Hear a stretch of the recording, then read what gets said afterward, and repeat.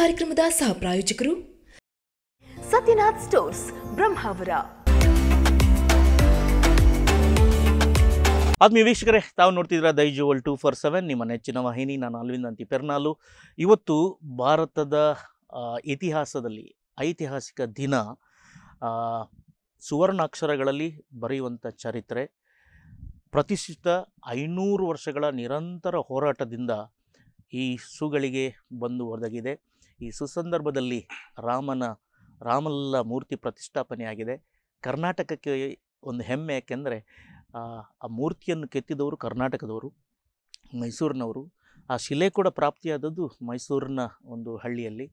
So, ಹಾಗಾಗಿ ನಮಗೂ ಕೂಡ ಹೆಮ್ಮೆ ಇದೆ ಕರ್ನಾಟಕದ ಕೂಡ ದೇಣಿಗೆ ಇದೆ ಅಂತ ಹೇಳಿಕೊಳ್ಳುತ್ತಾ, ಈ ಒಂದು ಸುಸಂದರ್ಭದಲ್ಲಿ ಸಂತೋಷವನ್ನು ದ್ವಿಗುಣಗೊಳಿಸಲಿಕ್ಕೆ ಹಿಂದೂ ಜಾಗರಣ ವೇದಿಕೆಯಲ್ಲಿ ಅನೇಕ ವರ್ಷಗಳಿಂದ ಸೇವಾ ತತ್ಪರತೆಯನ್ನು ಕಂಡುಕೊಂಡಿರುವಂತಹ ಒಬ್ಬ ಯುವ ನಾಯಕ ನಮ್ಮೊಂದಿಗಿದ್ದಾರೆ ಶ್ರೀ ರಮೇಶ್ ಕಲ್ಲುಗುಟ್ಟೆ ಇವರೊಂದಿಗೆ ನಾವು ನೇರ ಮಾತುಕತೆಯನ್ನು ಮಾಡುವ ಸರ್ ಕಾರ್ಯಕ್ರಮಕ್ಕೆ. ಸ್ವಾಗತವನ್ನು ಬಯಸ್ತಿದ್ದೇನೆ. ಹೇಗೆ ಅನಿಸ್ತದೆ ಈ ಕ್ಷಣ? ಖುಷಿ ಸರ್ ತುಂಬ ಹಬ್ಬ. ಸರಿ ಎಷ್ಟು ವರ್ಷಗಳ ಒಂದು ಸುದೀರ್ಘವಾದಂಥ ಹೋರಾಟ. ನಾವೀಗ ಫೈ ಜಿಯಲ್ಲಿದ್ದೇವೆ ಹೌದು. ನಮ್ಮ ಹಿರಿಯರು ಅವರ ಹಿರಿಯರು ಅಯೋಧ್ಯೆಯಲ್ಲಿ ರಾಮ ಹುಟ್ಟಿದ ರಾಮಾಯಣದ ಕತೆ ರಾಮ ಪಾರಾಯಣ ಎಲ್ಲ ಆಗುತ್ತೆ. ಮಕ್ಕಳಿಗೆ ರಾಮಾಯಣ ನಾವೆಲ್ಲ ರಾಮಾಯಣ ನೋಡಿ ಬೆಳೆದವರು. ರಾಮಾಯಣದಿಂದಾಗಿ ಮನೆ ಮನೆಗೆ ಟಿ ವಿ ಬಂತು ಅಂತೇಳಿ ಹೇಳಿಕೊಳ್ಬೋದು ಇವತ್ತು ಅದೇ ಟಿ ವಿಯಲ್ಲಿ ಅದೇ ಅಯೋಧ್ಯೆಯಿಂದ ನೇರ ಪ್ರಸಾರವನ್ನು ನಾವು ನೋಡಿದ್ದೇವೆ. ಈ ಕ್ಷಣವನ್ನು ನಮ್ಮ ಜೀವಿತಾವಧಿಯಲ್ಲಿ ನಾವು ನೋಡ್ತೇವೆ ಅಂತ ಹೇಳಿ ತಮಗೇನಾದರೂ ಕನಸಿತ್ತ? ರಾಮಾಯ ರಾಮಭದ್ರಾಯ ರಾಮಚಂದ್ರಾಯ ವೇದಸೆ. ರಘುನಾಥಾಯ ನಾಥಾಯ ಸಿದಾಯ ಪತೇ ನಮಃ. ನೀವು ಹೇಳಿದಾಗೆ ನಮಗೆ ನಾನಂತೂ ಕನಸು ಮನಸ್ಸಲ್ಲೂ ಎಣಿಸಿರ್ಲಿಕ್ಕಿಲ್ಲ ಯಾಕಂತ ಹೇಳಿದ್ರೆ ಬಹಳ ತುಂಬಾ ತುಂಬಾ ಖುಷಿ ಕೊಡ್ತಾ ಇದೆ. ನಾವು ಚಿಕ್ಕಂದಿನಲ್ಲಿ ಟಿ ವಿಯಲ್ಲೆಲ್ಲ ಒಂದು ಗಂಟೆ ಸೀರಿಯಲ್ ಬರ್ತಿತ್ತು, ರಾಮಾಯಣ ಮಹಾಭಾರತ ಅಂತೇಳಿ. ಅದು ಬಹಳಷ್ಟು ವರ್ಷಗಳ ಕಾಲ ಇತ್ತು. ಅದನ್ನು ನೋಡಿ ಎಲ್ಲ ಬೆಳೆದವರು ನಾವು. ಈಗ ಈಗ ಒಂದು ಕೆಲವೊಂದು ಕೋರ್ಟು, ಅದು ಇದು ಅಂತೇಳಿ ಎಲ್ಲ ಹೋರಾಟಗಳನ್ನು ಗಮನಿಸಿದಾಗ ಇಷ್ಟು ಬೇಗ ನಮಗೆ ರಾಮ ಮಂದಿರ ಅಲ್ಲಿ ಉದ್ಘಾಟನೆ ಆಗ್ತದೆ ನಿರ್ಮಾಣ ಆಗ್ತದೆ ಅಂತ ನಾವು ಕನಸು ಮನಸ್ಸಿನಲ್ಲೂ ಎನಿಸಲಿಕ್ಕಿಲ್ಲ. ಅದಕ್ಕೊಂದು ಒಳ್ಳೆಯ ಕಾಲ ಕೂಡಿ ಬಂದಿದೆ. ಈ ಕಾಲದಲ್ಲಿ ನಾವಿದ್ದೇವಲ್ವಾ? ಅದು ನಮಗೆ ತುಂಬಾನೇ ಖುಷಿ. ನಮ್ಮ ಏನು ಈ ಜನ್ರೇಷನಲ್ಲಿ ಒಂದು ರಾಮ ಮಂದಿರ ಅಯೋಧ್ಯೆಯಲ್ಲಿ ಉದ್ಘಾಟನೆ ಆಗುತ್ತಿರುವಂಥದ್ದು ಎಲ್ಲರಿಗೂ ದೇಶದ ಎಲ್ಲ ಹಿತವನ್ನು ಬಯಸುವವರಿಗೆ ಎಲ್ಲರಿಗೂ ಎಲ್ರಿಗೂ ಕೂಡ ಅದು ತುಂಬ ಒಂದು ರೀತಿಯಲ್ಲಿ ಹಬ್ಬದ ವಾತಾವರಣವನ್ನು ಇವತ್ತು ನಮಗೆ ಸೃಷ್ಟಿ ಮಾಡಿದೆ ಸರ್. ಸರಿ ಈಗ ಧಾರ್ಮಿಕ ಕೇಂದ್ರಗಳನ್ನು ನೋಡು. ಈಗ ಸೌದಿ ಅರೇಬಿಯಾದಲ್ಲಿ ಮೆಕ್ಕ ಮದೀನ ಇದೆ. ಜೆರೂಸಲಂನಲ್ಲಿ ಯೇಸುಕ್ರಿಸ್ತನು ಹುಟ್ಟಿದಂಥ ಬೆತ್ಲೇಮ್ ಇರಬಹುದು ಪ್ರದೇಶ ಇದೆ. ಆ ಪ್ರದೇಶದವು ಭಾಳ ಚೆನ್ನಾಗಿ ಇದೆ. ಅದರ ಸುತ್ತಮುತ್ತ ವ್ಯಾಪಾರ ವ್ಯವಹಾರ ಆಗುತ್ತೆ. ಟೂರಿಸಮ್ ಪ್ರವಾಸ ಕೇಂದ್ರವಾಗಿರ್ತದೆ. ಆದರೆ ಭಾರತದಲ್ಲಿ ಒಂದು ದ ರಾಮ ಜನ್ಮಭೂಮಿ ಎಂಬುದಿದೆ ರಾಮ ಹುಟ್ಟಿದ ಸ್ಥಳ ಅಂತ ಇದೆ ಐತಿಹಾಸಿಕವಾಗಿ ಇದೆ. ಈಗ ಥೈಲ್ಯಾಂಡ್ನಲ್ಲಿರ್ಬೋದು ಬೇರೆ ಭೂತಾನ್ನಲ್ಲಿರ್ಬೋದು ಭೂತಾನ್ನಲ್ಲಿ ಇರ್ಬೋದು ನೇಪಾಳದಲ್ಲಿ ಇರ್ಬೋದು ಅವರವರ ರಾಮಾಯಣದ ಕಥೆಗಳಿವೆ. ಆದರೆ ಎಲ್ಲದರ ಮೂಲ ಅಯೋಧ್ಯೆ. ಅಯೋಧ್ಯೆ. ಈಗ ನಮ್ಮ ದೇಶದಲ್ಲಿ ರಾಮನಿಗೆ ಸೀಮಿತವಾದಂಥ ಒಂದು ಮಂದಿರ ಇರಲಿಲ್ಲ ಎಂಬ ಒಂದು ಕೊರತೆ ಇತ್ತು. ಆ ಕೊರತೆಯನ್ನು ನೀಗಿಸಿದ್ದರಲ್ಲಿ ಈಗಿನ ಸರ್ಕಾರದ ಕೈ ಇದೆ. ಯಾಕಂದ್ರೆ ನೀವು ಹೇಳಿದ್ರಿ ಕಾಲ ಎಲ್ಲವೂ ಕೂಡ ಸರಿ ಮಾಡ್ತದೆ ಕಾಲ ಕೂಡಿಕೊಂಡು ಬರಬೇಕು ಅಂತ ಹೇಳಿ. ಸೊ ನಾವು ಬರುವ ಪೀಳಿಗೆಗೆ ಹೇಳ್ಬೋದು ನಾವು ಈ ದಿವಸವನ್ನು ಕಂಡಿದ್ದೇವೆ ಅಂತ ಹೇಳಿ. ಇದರ ಸುದೀರ್ಘವಾದಂಥ ಹೋರಾಟ ಮಾಡಿದವರ ಒಂದು ನೆನಪನ್ನು ನಾವು ಮಾಡಬೇಕಾಗತ್ತೆ. ಯಾಕೆಂದ್ರೆ ಅದು ಈ ಕ್ಷಣದಲ್ಲಿ ಆಗಿದೆ ಅಂತ ಹೇಳಿದರೆ ಅವರ ಭಾಗ್ಯ. ಅದರ ಹಿಂದೆ ಡಾಕ್ಟರ್ ಪ್ರವೀಣ್ ಬಾಯಿ ತೊಗಾಡಿಯವರು ಈ ರಾಮ ಮಂದಿರದ ಕನಸನ್ನು ಕಂಡವರು. ಬಿ ಜೆ ಪಿ ಎಂಬುದು ಸೌತ್. ನಮ್ಮ ದಕ್ಷಿಣ ಭಾರತದಲ್ಲಿ. ಬರಬೇಕಾದ್ರೆ ಉಡುಪಿ ಅದಕ್ಕೆ ಕಾರಣ. ಉಡುಪಿಯಿಂದ ಲಾಲ್ಕೃಷ್ಣ ಅಡಿ ಅಡ್ವಾಣಿಯವರು ರಥಯಾತ್ರೆ ಅಂತೇಳಿ ಪ್ರಾರಂಭ ಮಾಡಿದರು. ಸ್ವರ್ಗಸ್ಥರಾದಂಥ ಪೂಜ್ಯಪಾದ ಪೇಜವರ ಶ್ರೀಗಳು ಇದಕ್ಕೆ ಅನುವು ಮಾಡಿಕೊಟ್ಟಿದ್ರು. ಸೊ ಎಲ್ಲಿಯೋ ಇವರ ಹೋರಾಟ ಇದಕ್ಕೆ ಕಾರಣವಾದೀತು ಅಥವಾ ಬುನಾದಿಯಾಗಿತ್ತು ಅಂತೇಳಿ ಒಪ್ಕೊಳ್ತೀರಾ? ಖಂಡಿತ ಸರ್. ಯಾಕಂತ ಹೇಳಿದ್ರೆ ಇಡೀ ರಾಮ ಮಂದಿರದ ಅಯೋಧ್ಯೆ ಹೋರಾಟದ ನೇತೃತ್ವವನ್ನು ವಹಿಸಿಕೊಂಡಿದೆ ಯಶವಂತ ಪರಿಷತ್. ನೇತೃತ್ವವನ್ನು ವಹಿಸಿಕೊಂಡಿರುವಂಥದ್ದು. ನೀವು ಹೇಳಿದಾಗ ಇವರೆಲ್ಲ ನೀವು ಮೂರು ಜನರ ಹೆಸರು ಹೇಳಿದ್ರಿ. ಈಗ ಪ್ರವೀಣ್ ಬಾಯಿ ತುಗಾಡಿ ಇರ್ಬೋದು ಪೇಜಾವರ ಸ್ವಾಮೀಜಿಗಳಿರ್ಬೋದು ಎಲ್ ಕೆ ಅಡ್ವಾಣಿ ಇರ್ಬೋದು. ಯಾಕೆ ಅಂತ ಹೇಳಿದ್ರೆ ಯಾವುದೇ ಒಂದು, ಅಂದರೆ ಮನೆ ನಿರ್ಮಾಣ ಮಾಡುವಾಗಲೂ ಅಷ್ಟೇ ಅದಕ್ಕೊಂದು ಫೌಂಡೇಶನ್ ಅಂತೇಳಿ ಮಾಡ್ತೇವೆ. ಗೋಡೆ ಕಟ್ತೇವೆ ಸ್ಲ್ಯಾಪ್ ಮಾಡ್ತೇವೆ, ಆಮೇಲೆ ಉದ್ಘಾಟನೆ ಆಗುತ್ತೆ. ಅಂದರೆ ನಾವು ಉದ್ಘಾಟನೆಯನ್ನು ಮಾತ್ರ ನೆನಪಿಸುವುದಲ್ಲ. ಅದಕ್ಕೆ ಫೌಂಡೇಶನ್ ಅಂತಲ್ಲಿ ಯಾರನ್ನ, ಯಾರೆಲ್ಲ ಅದಕ್ಕೆ ಸಹಕರಿಸಿ ಅವರನ್ನು ನೆನಪಿಸುವಂಥ ಕೆಲಸ ಆಗಲೇಬೇಕು. ಮತ್ತು ನಾವು ಎಲ್ಲ ಅನೇಕ ದಾರ್ಶನಿಕರು ಹೇಳ್ತಾರೆ. ಜಗದ ಎಲ್ಲಾ ಜೀವಿಗಳು ಕರ್ಮ ಸವೆಸಲು ಬರಲೇಬೇಕಾದ ಪುಣ್ಯ ಭೂಮಿ ಅಂದ್ರೆ ಭಾರತ ಅಂತೆ. ಆ್ಯಕ್ಚುಲಿ ನಾವು ಈ ಸಂದರ್ಭದಲ್ಲಿ ಇದ್ದೇವೆ, ನಾವು ಧನ್ಯರು. ಏನು ರಾಮನ ಕಲ್ಪನೆ ಏನಿದೆ? ಅಂದ್ರೆ ರಾಮ ನೀವು ಹೇಳಿದಾಗೆ ಇಷ್ಟರವರೆಗೆ ರಾಮ ಮಂದಿರ ಯಾಕೆ ಇಲ್ಲ ಏನಿಲ್ಲ ಅದ್ರ ಗೊತ್ತಿಲ್ಲ ನಮಗೆ. ಅದಕ್ಕೊಂದು ಕಾಕತಾಳೀಯವನ್ನು ಗೊತ್ತಿಲ್ಲ. ಮತ್ತೆ ಈಗ ನರೇಂದ್ರ ಮೋದಿ ಅವರು ದೇಶದ ಪ್ರಧಾನಿ ಆಗಿದ್ದಾರೆ. ಬಹಳಷ್ಟು ವಿಚಾರ, ವಿಚಾರಗಳಲ್ಲಿ, ಬಹಳಷ್ಟು ಕೆಲಸಗಳಲ್ಲಿ ಅವರೊಂದು ವಿಶೇಷವಾದ ಅನುಭವ ನಮಗೆ ತಂದುಕೊಟ್ಟಿದೆ ಅವರ ಕೆಲಸ ಕಾರ್ಯ. ಇದು ಕೂಡ ನೋಡಿ ಕಾಕತಾಳೀಯ ಎಂಬಂತೆ ಕೋರ್ಟ್ನಲ್ಲಿ ಕೂಡ ಅದಕ್ಕೆ ಸಿಗ್ನಲ್ ಸಿಕ್ಕಿ ಇವತ್ತು ರಾಮ ಮಂದಿರ ಅದು ಉದ್ಘಾಟನೆ ಆಗಿ ಆಯ್ತು. ಅಲ್ಲಿವರೆಗೆ ನಾವು ಬಂದು ತಲುಪಿದ್ದೇವೆ ಅಂತ ಹೇಳಿದ್ರೆ ಇದು ನಮ್ಮೆಲ್ಲ ಸೌಭಾಗ್ಯ ಅಲ್ವಾ? ಏನು ಏನೋ ಒಂದು ರಾಮರಾಜ್ಯ ನಾವು ನೀವು ಹೇಳಿದಾಗೆ ಸಣ್ಣ ಚಿಕ್ಕಂದಿನಲ್ಲಿ ಇರುವಾಗ ನಾವು ರಾಮಾಯಣ ಎಲ್ಲ ನೋಡಿ ಬೆಳೆದವರು. ರಾಮನ ಆದರ್ಶಗಳು ಆ ಒಂದು ನ್ಯಾಯ ಸತ್ಯ ಧರ್ಮ ಅದೆಲ್ಲ ನೋಡಿ ಎಲ್ಲ ಬೆಳೆದವರು. ನಮಗೊಂದು ಆಸೆ ಇರ್ತದೆ. ಅಂದ್ರೆ ಕಲಿಯುಗದಲ್ಲಿ ಅಂದ್ರೆ ಈಗ ಕೃತಯುಗ ತ್ರೇತಾಯುಗ ದ್ವಾಪರಯುಗ ಇದು ಕಲಿಯುಗದಲ್ಲಿ ನಾವಿದ್ದೇವೆ. ಅಂದ್ರೆ ಬಹಳಷ್ಟು ವರ್ಷಗಳ ಕಾಲ ನಾವು ಅದನ್ನು ತ್ರೇತಾಯುಗದಲ್ಲಿ ಇರ್ ಇದ್ದಂಥ ರಾಮನನ್ನು ಈಗಲೂ ನಾವು ನೆನಪಿಸ್ತೇವೆ ಅಂತ ಹೇಳಿದರೆ ಅಷ್ಟು, ಎಷ್ಟು ಪ್ರಭಾವ ಇರ್ಬೋದು. ಅದಕ್ಕೊಂದು ಮಂದಿರ ನಿರ್ಮಾಣ. ಅದು ಕೂಡ ನಮ್ಮ ದೇಶದಲ್ಲಿ. ನೋಡಿ, ನಾನು ಮೊನ್ನೆ ಎಲ್ಲ ಕೆಲವು ಮಾಧ್ಯಮದಲ್ಲಿ ನೋಡಿದೆ, ಗಮನಿಸಿದೆ. ಉತ್ತರ ಪ್ರದೇಶ ಬಹಳಷ್ಟು ಆ ಅಯೋಧ್ಯ ಪರಿಸರ ಒಂದು ರೀತಿ ಒಂಥರ ಏನು ಮದುಮಗಳಾಗಿ ಅಲ್ಲ ಒಂದು ರೀತಿ ಒಂದು ಕೆಟ್ಟ ಒಂದು ಇದರಲ್ಲಿ ಇತ್ತು ಅದು ಒಂದ್ ಕಾಲದಲ್ಲಿ. ಈಗ ಯಾವಾಗ ಸುಪ್ರೀಂ ಕೋರ್ಟ್ಗೆ ಗ್ರೀನ್ ಸಿಗ್ನಲ್ ಕೊಟ್ಟಿತ್ತು. ಆವತ್ತಿಂದ ಏನೋ ನೀವು ಹೇಳಿದಕ್ಕೆ ಮದುಮಗಳ ಸಿಂಗಾರದಲ್ಲಿ ಕಂಗೊಳಿಸಿದೆ ಅಷ್ಟು ಮಾತ್ರ ಅಲ್ಲ. ಅದು ಇನ್ನೊಂದು ಬಡ ದೇಶ ಅಂತ ಹೇಳಿ ಭಾವನೆ ಬರುವುದೇ ಇಲ್ಲ. ಇನ್ನು ಶ್ರೀಮಂತ ದೇಶ ಆಗುವುದ್ರಲ್ಲಿ ಯಾವ್ದು ಸಂದೇಹ ಇಲ್ಲ. ಯಾಕೆ ಹೇಳಿ? ಅದು ರಾಮ ಮಂದಿರ ಅನ್ನುವಂಥದ್ದು ಅದೊಂದು ವಿಚಿತ್ರವಾಗಿ. ಒಂದು ಕೋರ್ಟು ಗ್ರೀನ್ ಸಿಗ್ನಲ್ ಕೊಟ್ಟು ಅಲ್ಲಿ ರಾಮ ಮಂದಿರ ನಿರ್ಮಾಣಕ್ಕೆ ಅಡಿಗಲ್ಲ ಆಯ್ತು ಅದು ಮಾತ್ರ ಅಲ್ಲ ಯಾವುದೇ ಒಂದು ಸರ್ಕಾರದ್ದು ಕೂಡ ಅದಕ್ಕೆ ದುಡ್ಡು ವಿನಿಯೋಗ ಆಗಲಿಲ್ಲ. ಬರೀ ನಮ್ಮ ಎಲ್ಲ ರಾಮ ಭಕ್ತರದ್ದೇ. ದೇಶದಲ್ಲಿ ಒಂದೇ ಒಂದು ಅವರ ಪ್ರಮುಖರು ಇದನ್ನು ಕೊಟ್ಟರು. ಟ್ರಸ್ಟ್ ಎಲ್ಲ-. ಮನೆಯಿಂದಲೂ ನಮಗೆ ಕಾಣಿಕೆ ಬೇಕಂತ ಹೇಳಿ. ಒಂದು ಸಾವಿರದ ಕೋಟಿ ನಿರೀಕ್ಷೆ ಇತ್ತು. ಮೂರು ಮೂರುವರೆ ಸಾವಿರ ಕೋಟಿ ನಿರೀಕ್ಷೆಯಷ್ಟು ಅಲ್ಲಿ ದುಡ್ಡು ಬಂದಿದೆ ಅಂತ ಹೇಳಿದ್ರೆ ಇದೆಲ್ಲ ರಾಮನ ಶಕ್ತಿ ಅಲ್ವಾ ಭಕ್ತಿ ಅಲ್ವಾ. ಹಾಗಾಗಿ ಹೇಳುವಂಥದ್ದು ಏನೋ ಒಂದು ಒಳ್ಳೆಯ ಕಾಲ ಖಂಡಿತ ಬಂದೇ ಬರ್ತಿದೆ ಸೊ. ಈ ಕಾಲದಲ್ಲಿ ಕನ್ನಡ ನಾಡಿನ ಕೊಡುಗೆ ಕೂಡ ಇದೆ. ಅಲ್ಲಿ ಪ್ರತಿಷ್ಠಲ್ಪಟ್ಟಂತಹ ಅಥವಾ ಪ್ರಾಣ ಪ್ರತಿಷ್ಠೆ ಆದಂತಹ ರಾಮಲಲ್ಲನ ಮೂರ್ತಿ ನಮ್ಮ ಮೈಸೂರಿನ ಭಾಗದ್ದು. ಶಿಲ್ಪಿ ಕೂಡ ಮೈಸೂರಿನವರೇ. ಬಹುಶಃ ಅರುಣ್ ಅರುಣ್ ಯೋಗಿ ರಾಜ. ಅರುಣ್ ಯೋಗಿರಾಜ್ ಅವರು ಮಾಡ್ತಾರೆ. ಆ ರಾಮನ ರಾಮಲಲ್ಲನ ಮೂರ್ತಿಯಲ್ಲಿ ರಾಮನ ಮೂರ್ತಿ ಕೂಡ ಒಂದು ಪಕ್ಕಕ್ಕಿದೆ. ಹನುಮ ಇದ್ದಾನೆ ಸೂರ್ಯ ದೇವರಿದ್ದಾರೆ ಇದ್ದಾರೆ. ಎಲ್ಲಿವರೆಗೆ ಅಂದರೆ ಬುದ್ಧನೇ ಇದೆ ಕಲ್ಕಿ ಇದೆ ನರಸಿಂಹ ಇದೆ ಇವರು ಇವ್ರು ಇವರೆಲ್ಲ ಇದ್ದಾರೆ. ನಮಗೆ ದ್ವಿಗುಣ ಸಂತೋಷಗೊಳ್ಬೇಕು. ಯಾಕೆಂದರೆ ಶಿಲ್ಪಿ ನಮ್ಮವರು. ಮೂರ್ತಿ ಆಗ್ಬೇಕಂತ ಹೇಳಿದ್ರೆ ಅದೆಲ್ಲ ಕಾರಣ. ದೈವಿಚ್ಛೆ. ಆದರೆ ಆ ಶಿಲೆಯಲ್ಲಿ ಆ ಊರಿನ ಆ ಬಂಡೆಕಲ್ಲಿನಲ್ಲಿ ಆ ಮೂರ್ತಿ ಆಗುತ್ತೆ ಅಂತ ಹೇಳುವಾಗ ಈಗ ಇದೀಗ ಬಂದ ಸುದ್ದಿ ಏನಿದೆ? ಅಲ್ಲಿ ಇನ್ನೊಂದು ಸಣ್ಣ ರಾಮ ಮಂದಿರ ಮಾಡ್ತಾರೆ ಅಂತ ಹೇಳಿ. ಸೊ ನಿಮ್ಗೆ ಹೇಗೆ ಅನಿಸಿದೆ? ಒಬ್ಬ ಕನ್ನಡ ನಾಡಿನ ಪ್ರಜೆಯಾಗಿ ನಮ್ಮ ದೇಣಿಗೂ ಕೂಡ ಅಯೋಧ್ಯೆಗೆ ಹೋಗಿ ಮುಟ್ಟಿದೆ. ಸಾವಿರಾರು ವರ್ಷಗಳು ಕೂಡ ಕಾಲ ಆ ಮೂರ್ತಿ ಅಲ್ಲಿ ಇರಲಿಕ್ಕಿದೆ. ಹೇಗೆ ಅನಿಸ್ತದೆ ಅದು ಅದು ಒಂದು ನೀವು ಅದು ಮಾತಿನಲ್ಲಿ ನಮಗೆ ವ್ಯಕ್ತಪಡಿಸ್ಲಿಕ್ಕೆ ಸಾಧ್ಯ ಇಲ್ಲ. ಯಾಕಂತ ಹೇಳಿದ್ರೆ ಕರ್ನಾಟಕದ ಒಂದು ಆ ಮೈಸೂರಿನ ಅರುಣ್ ಯೋಗಿರಾಜ್ ಅವರು ಅದಕ್ಕೊಂದು ಭಾಗ್ಯವಂತರು ಅವರು ನಿಜವಾಗ್ಲೂ ಪುಣ್ಯವಂತರು. ನಾನು ಯಾವುದೋ ಒಂದು ಎಪಿಸೋಡಲ್ಲಿ ನೋಡಿದೆ. ಆರು ತಿಂಗಳು ಅವರು ಮನೆ ಸಂಪರ್ಕ ಕೂಡ ಇರಲಿಲ್ಲಂತೆ ಸಣ್ಣ ಮಗು ಇತ್ತಂತೆ. ಅಂದ್ರೆ ಯೋಗ ಅವರಿಗೆ. ಅದು ಕೂಡ ಕೆತ್ತಿದ ಹಾಗೆ ಅಂತ ಹೇಳಿದ್ರೆ ಅವರು ನಾನು ಒಂದು ಐವತ್ತು ಇಂಚಿ ಐವತ್ತೊಂದು ಇಂಚಿನ ಅದು ಮೂರ್ತಿ ಅದು ಪ್ರಭಾವಳಿ ಎಲ್ಲ ಸೇರಿ ಸುಮಾರು ನೂರೈವತ್ತು ಕೆ ಜಿ ಅಷ್ಟ ತೂಕ. ಉಂಟಂತ ಹೇಳಿದ್ರು. ನಮ್ಗೆ ರಾಮನ ವಿಗ್ರಹದ ಬಗ್ಗೆ ಮಾತ್ರ ಕಲ್ಪನೆ ಇತ್ತು. ನೀವು ಹೇಳಿದಾಗ ಪ್ರಭಾವಳಿಯಲ್ಲಿ ನಮ್ಮನ ದಶಾವತಾರ ಏನಿದೆ ಎಲ್ಲ ಅಂದ್ರೆ ರಾಮ ಕೃಷ್ಣ ಈ ಥರ ಎಲ್ಲ ಕಲ್ಕಿ ಈ ಥರ ಬುದ್ಧ ಎಲ್ಲ ಎಲ್ ಒಂದು ರೀತಿಯಲ್ಲಿ ಕೆತ್ತಿಸಿದ್ದು ಹನುಮ ಸೂರ್ಯದೇವರು. ಸೂರ್ಯದೇವರು. ಎಲ್ಲ ಮೂರ್ತಿಯಲ್ಲಿ ಬಂದಿರುವಂತದ್ದು ನಿಜವಾಗ ಅದು ಮತ್ತಷ್ಟು ದ್ವಿಗುಣಗೊಳಿಸುವಂತದ್ದು ನಮಗೆ ಖುಷಿಯನ್ನು. ಅದೊಂದು ಏನು ಆಗ ಅಷ್ಟು ಮಾತ್ರ ಅಲ್ಲ ನಮ್ಮ ಕರ್ನಾಟಕದಲ್ಲಿ ಬರೀ ಆ ಒಂದು ರಾಮನ ಮೂರ್ತಿಗೆ ಒಂದು ಅಲ್ಲಿ ಕಲ್ಲು ಹೋದದಲ್ಲ ಬೇರೆ ಅಲ್ಲಿ ರಾಮ ಮಂದಿರಕ್ಕೆ ಬಹಳಷ್ಟು ಕಲ್ಲುಗಳು ಕರ್ನಾಟಕದಲ್ಲಿ ಹೋಗಿವೆ. ಅಲ್ಲಿ ವಿಶೇಷವಾಗಿ ನಮ್ಮ ಕಾರ್ಕಳ ನೆಲ್ಲಿಕಾರಿನಲ್ಲಿ ಒಂದು ಕಲ್ಲು ಕೂಡ ಹೋಗಿತ್ತು. ಅದನ್ನು ಕೂಡ ಕೆತ್ತಿದ್ದಾರೆ ಅಂತೇಳಿ. ಅಂದ್ರೆ ಮೂರು ಕಡೆಯ ಕಲ್ಲನ್ನು ಕೆತ್ತಿ ಅದನ್ನು ಅದರಲ್ಲಿ ಮೂರಲ್ಲಿ ಒಂದನ್ನು ಫೈನಲ್ ಮಾಡಿ ಇಟ್ಟಿದ್ದಾರೆ ಅಂತೇಳಿ ನಿಮ್ಗೆ ಹೇಳ್ತಾರೆ ಗರ್ಭಗುಡಿಯಲ್ಲಿ ಇದೆ ಅದು ಕೂಡ ಪ್ರತಿಷ್ಠಾಪನೆ ಹ್ಮ್. ಅದು ಕೂಡ ವಿಶೇಷ ಅಂತ ಹೇಳಿದ್ರೆ ನಾವು ಇಲ್ಲೆಲ್ಲ ದೇವ ದೇವಸ್ಥಾನಗಳನ್ನೆಲ್ಲ ನಿರ್ಮಿಸ್ತೇವೆ ನಾವು. ಈಗ ಶಿಲಾಮಯ ಇಲ್ಲ ಆಗುವಂಥದ್ದು. ಇದು ಹಾಗಲ್ಲ. ಇದು ನಾವು ಹೋದ್ರೂ ಕೂಡ ಅದೇ ಅಲ್ಲಿ ಉಳಿಬೇಕು ಅದು ಅಂದ್ರೆ ಎಷ್ಟೋ ಸಾವಿರ ವರ್ಷಗಳ ನಂತರವೂ ಕೂಡ ಅಲ್ಲಿ ರಾಮ ಅಂದ್ರೆ ಇರಬೇಕು ಅನ್ನೋ ಕಲ್ಪನೆ ಅಡಿಯಲ್ಲಿ ಅಲ್ಲಿ ನಿರ್ಮಿಸಿರುವಂತದ್ದು. ಅದಕ್ಕೆಲ್ಲ ದೇವರ ಅನುಗ್ರಹ ಇಲ್ಲದಾಗ್ತದ ನೀವೆಲ್ಲ ಕೇಳಿದಿರಿ ಅದು ಎಷ್ಟು ಯಾವ ರೀತಿ ನಿರ್ಮಾಣ ಆಗಿದೆ ಅಂತ ಹೇಳಿ. ಅದು ಅದೊಂದು ನಿಜವಾಗಿ ಅದೊಂದು ಪವಾಡವೇ ಹೇಳ್ಬಹುದು. ಪವಾಡ. ಪವಾಡವೇ. ಯಾಕಂತ ಹೇಳಿದ್ರೆ ಎಷ್ಟೋ ಕೋಟಿ ನೋಡಿ ಆ ರಾಮನ ಶಿಲೆ ಮೊನ್ನೆ ನಾನು ಯಾವ್ದು ನೋಡಿದೆ ಎಷ್ಟೋ ಮೂರು ಕೋಟಿ ಮುನ್ನೂರು ಕೋಟಿಯ ಹಳೆಯ ಶಿಲೆ ಅಂತ ಹೇಳಿದ್ರು ಇದು ಸಂಶೋಧಕರು. ಅದನ್ನು ಈಗ ಕೆತ್ತಿದ ಮೂರ್ತಿ ಕೂಡ ಒಂದು ಸಾವಿರಕ್ಕೂ ಹೆಚ್ಚು ಕಾಲ ಬಾಳಿಕೆ ಬರಬಹುದು ಅಂತ ಹೇಳಿ ಹೇಳಿದ್ದಾರೆ.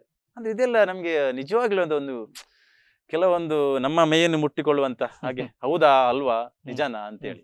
ಅಂತ ವಾತಾವರಣ ಅಂತೂ ಖಂಡಿತ ಇಡೀ ದೇಶದಲ್ಲಿ ಅದು ಮನೆ ಮಾಡಿದೆ. ಸರಿ ಈಗ ಇವತ್ತು ಹಬ್ಬದ ವಾತಾವರಣ.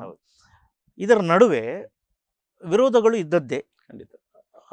ಈ ಒಂದು ಪುಣ್ಯ ಇದು ಏನು ಹೇಳ್ತೇವೆ ಸಮಯವನ್ನು ಕಣ್ತುಂಬಿಕೊಳ್ಬೇಕಾದ್ರೆ ಈಗ ಭಾರತ ಇರೋದು ಮುಂದಿನ ಪೀಳಿಗೆ ಶಾಲಾ ಕಾಲೇಜುಗಳಿಗೆ ರಜೆ ಘೋಷಣೆ ಆಗಬೇಕಿತ್ತು ರಜೆ ಕೊಡಬೇಕಿತ್ತು ಅಂತೇಳಿ ಇದರ ಬಗ್ಗೆ ಎಲ್ಲ ಇದೆ. ಅದು ರಾಷ್ಟ್ರೀಯ ಕಾರ್ಯಕ್ರಮ ರಾಷ್ಟ್ರೀಯ ಮಟ್ಟದಲ್ಲಿ ರಾಷ್ಟ್ರೀಯ ನಾಯಕರು ಇದನ್ನು ಹೇಳಬೇಕಿತ್ತು ಅಂತೇಳಿ ಇದೆ. ನಿಮ್ಗೆ ಏನು ಅನ್ನಿಸ್ತದೆ ಇವತ್ತು ಶಾಲಾ ಕಾಲೇಜುಗಳಿಗೆ ರಜೆ ಕೊಡಬೇಕಿತ್ತು ನಮ್ಮ ಮಕ್ಕಳು ಇದನ್ನೆಲ್ಲ ನೋಡಿ ಕಣ್ತುಂಬಿಕೊಳ್ಬೇಕಿತ್ತು ಅಂತೇಳಿ ಅನಿಸ್ತದ? ಅಲ್ಲ ಸರ್ ಒಂದು ನಾವು ಈಗ ಭಾರತದ ಸಂವಿಧಾನ ಇರ್ಬೋದು ಕಾನೂನು ಇರ್ಬೋದು ಯಾವುದೇ ಇರ್ಬೋದು ಅದನ್ನು ರಚನೆ ಮಾಡೋದು ನಾವೇ ಅಲ್ವಾ? ನಮ್ಮ ಒಳಿತಿಗಾಗಿ ನಮ್ಮ ಖುಷಿಗಾಗಿ ಅಲ್ವಾ?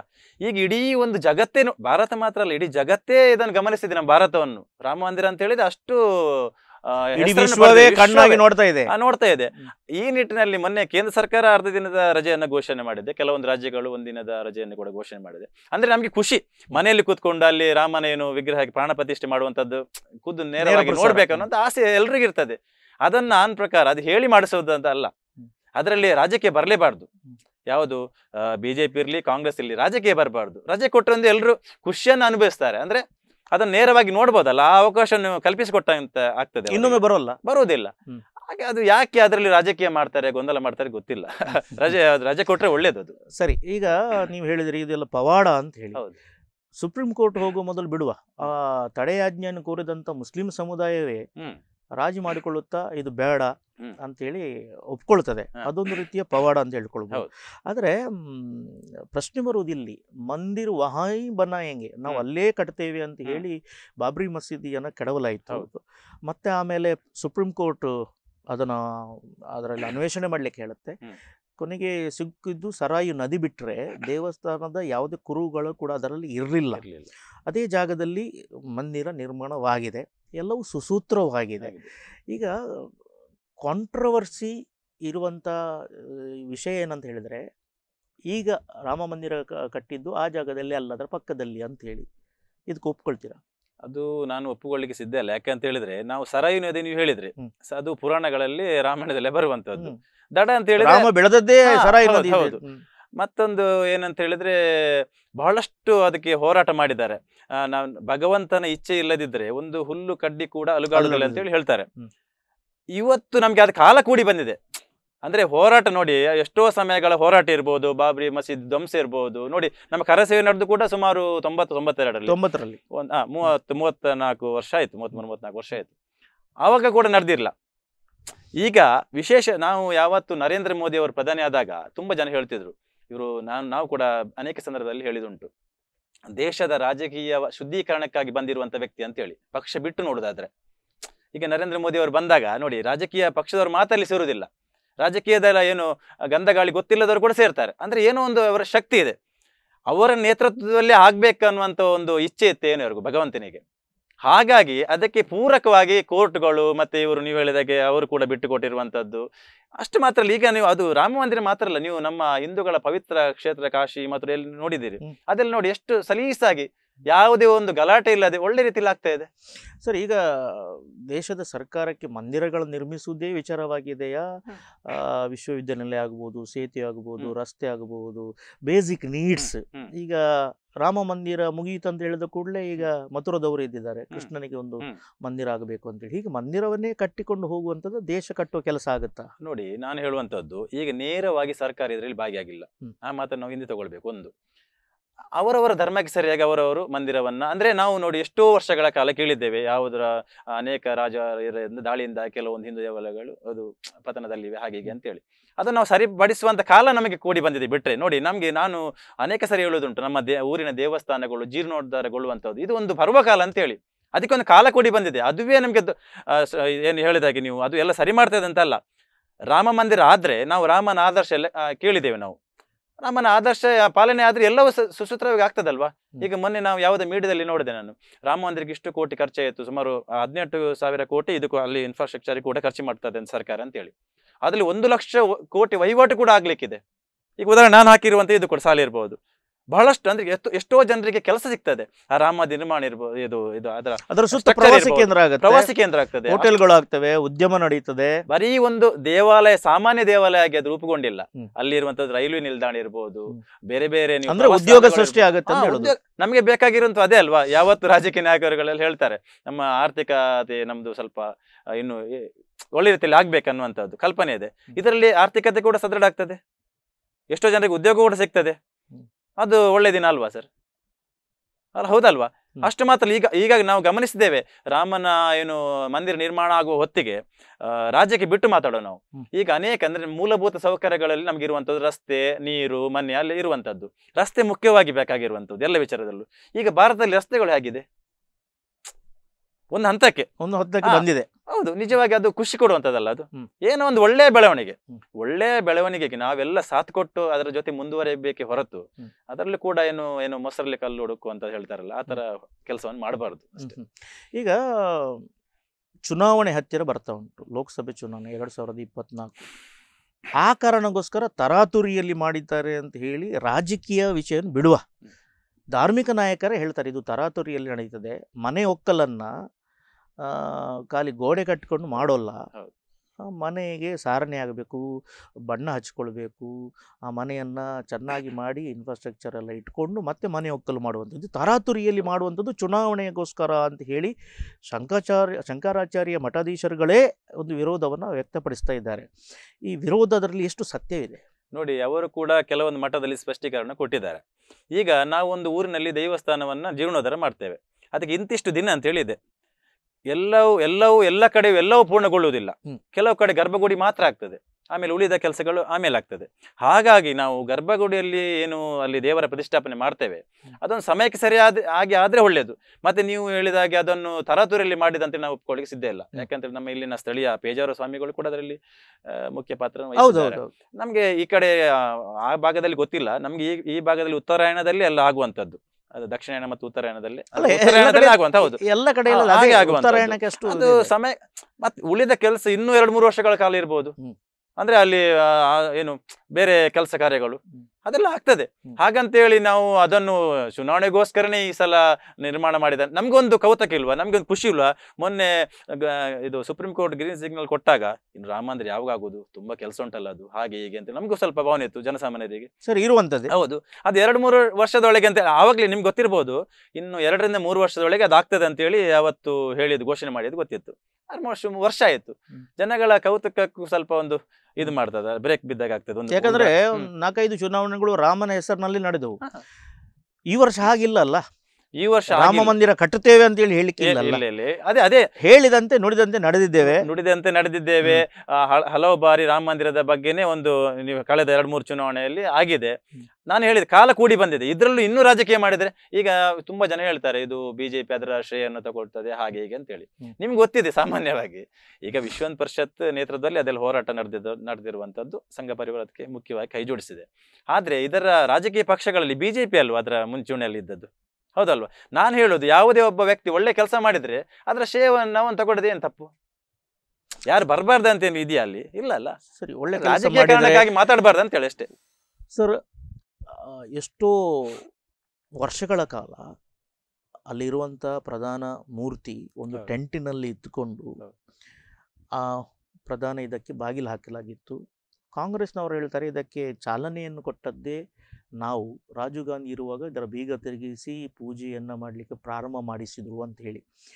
ಅದಕ್ಕೆ ಸಡ್ಡು ಹೊಡೆದು ಹಿಂದೂ ಜಾಗರಣ ವೇದಿಕೆ ಹೇಳುತ್ತೆ ಪೂಜೆ ಮಾಡಿಸ್ಲಿಕ್ಕೆ ಬೀಗ ತೆಗಿಬೇಕಾಗಿಲ್ಲ ಮೂರ್ತಿಯನ್ನು ಪ್ರತಿಷ್ಠಾಪಿಸಿ ಮಂದಿರವನ್ನು ಮಾಡಲಿಕ್ಕೆ ಯಾಕೆ ಆಗೋದಿಲ್ಲ ಅಂಥೇಳಿ ಸೊ ನೀವು ಬ್ರೇಕ್ನ ಮೊದಲು ಹೇಳಿದಿರಿ ಯಾವುದಾದ್ರೂ ಒಳ್ಳೆ ಕೆಲಸ ಮಾಡಿದರೆ ನಾವು ಮಾಡಿದ್ದು. ಅಂತೇಳಿ ಹೇಳಬಹುದಕ್ಕೆ ಏನು ತಪ್ಪಿಲ್ಲಲ್ಲ. ತಪ್ಪಿಲ್ಲ. ಸೊ ಕಾಂಗ್ರೆಸ್ ಹೇಳುತ್ತೆ ನಾವು ಇದನ್ನು ಪ್ರಾರಂಭ ಮಾಡಿದ್ರು ಅಂತೇಳಿ ನಿಮ್ಮ ಅಭಿಪ್ರಾಯ? ನೋಡಿ ಈಗ ನೀವು ಹೇಳಿದಾಗೇನೆ ಅವರು ಮಾಡಿದ್ದು ಹೌದಾದರೆ ಅದನ್ನು ನಾವು ಒಪ್ಪಿಕೊಳ್ಬೇಕಾ? ಒಂದು ವಿಚಾರ. ಕನ್ ಆ, ಈ ನಮ್ಮ ದೇಶದಲ್ಲಿ ಅನೇಕ ವರ್ಷಗಳ ಕಾಲ ನಮ್ಮ ಕೇಂದ್ರದಲ್ಲಿ ಕಾಂಗ್ರೆಸ್ ಸರ್ಕಾರ ಇದ್ದದ್ದು. ಹೌದಲ್ವಾ? ಎಲ್ಲರನ್ನು ವಿಶ್ವಾಸಕ್ಕೆ ತೆಗೆದುಕೊಂಡು ಹಲವು ಹಿಂದೂ ಬಾಂಧವರ ಮನಸ್ಸಿಗೆ ಧಕ್ಕೆ ಆಗದ ರೀತಿಯಲ್ಲಿ ಅದಕ್ಕೂ ಕೂಡ ಅವರಿಗೆ ಮುಂದುವರಿಬಹುದಿತ್ತು ಅಲ್ಲಿ ಒಂದು ಏನೋ ಒಂದು ರಾಜಿಯಲ್ಲಿಯೋ ಅಥವಾ. ನ್ಯಾಯದಲ್ಲೂ ಮಾಡಿ ಅಲ್ಲಿ ಒಂದು ಮಂದಿರ ನಿರ್ಮಾಣಕ್ಕೆ ಅವಕಾಶ ಮಾಡಿಕೊಡ್ಬೋದಿತ್ತು. ಅದು ಯಾತಕ್ಕೋಸ್ಕರ ಮಾಡಿದ್ದಾರೆ. ಅದರಲ್ಲಿ ನಮಗೆ ಗೊತ್ತಿಲ್ಲ ಅದು ಹೌದಾ ಅಲ್ವಾ ಅಂತೇಳಿ. ಇನ್ನು ಕೂಡ ಅದಕ್ಕೆ ನಮಗೆ ಕ್ಲಾರಿಟಿ ಸಿಗಲಿಲ್ಲ. ಆದರೆ ಮಾಡೋದಿದೆ ಅದನ್ನು ಮಾಡ್ಬೋದಿತ್ತಲ್ಲ? ಈಗ ಯಾಕೆ ಆ ವಿಷಯ ಬರ್ತಾ ಇದೆ? ಅಂದ್ರೆ ಇಲ್ಲಿ ಮಾಡಿದ್ದಾರೆ. ಈಗ ಉದ್ಘಾಟನೆ ಆಗ್ತಾ ಇದೆ ಅಂತ ಹೇಳಿಯಾ? ಆಗಿದೆ ಅಂತ ಹೇಳಿಯಾ? ಈಗ ಯಾಕೆ ಅದು ಪ್ರಚಲಿತಕ್ಕೆ ಬರ್ತಾ ಇದೆ. ಆವತ್ತೇ ಮಾಡ್ಬೋದಿತ್ತಲ್ಲ. ಎಷ್ಟೋ ವರ್ಷಗಳ ಕಾಲ ನೋಡಿ ಈಗ ಕರಸೇವೆ ನೋಡಿದ್ರೆ ಮೂವತ್ತು ಮೂವತ್ಮೂರು ಮೂವತ್ನಾಲ್ಕು ವರ್ಷ ಎಷ್ಟೋ ಜನ ಅಲ್ಲಿ ಹಸುನಿಗಿದ್ರು. ಏನೆಲ್ಲ ಆಯ್ತು? ಎಲ್ರಿಗೂ ಗೊತ್ತಿರುವಂತದ್ದು ಅದು ಪುನಃ ರಿಪೀಟ್ ಮಾಡೋದಿಲ್ಲ ಎಲ್ರಿಗೂ ಗೊತ್ತಿರುವಂತದ್ದು ಈಗ ಕರಸವೆಯ ವಿಷಯ ಅಂತ ತೆಗೆದ್ರಿ ನೀವು. ಆ ಸಂದರ್ಭದಲ್ಲಿ ಎಷ್ಟು ಪ್ರಾಣಗಳು ಹೋದವು ಅದು ಬೇರೆ ವಿಷಯ. ಅದನ್ನು ಮರೀಲಿಕ್ಕೆ ಸಾಧ್ಯವಿಲ್ಲ.